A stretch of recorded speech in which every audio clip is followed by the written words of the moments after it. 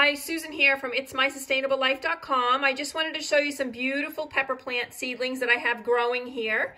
And I just wanted to show you how I strengthen the stems. So basically all I do under the grow lights here is I just give them a good pat.